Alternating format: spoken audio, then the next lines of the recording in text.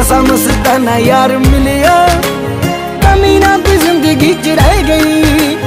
ਯਾਰ ਦਾ ਦੀਦਾਰ ਬਾਕੀ ਪਾ ਯਾਰ ਦਾ ਦੀਦਾਰ ਬਾਕੀ ਪਾ ਲਿਆ ਇਸ਼ਕ ਹਕੀਕੀ ਦਾ ਮੁਕਾਮ?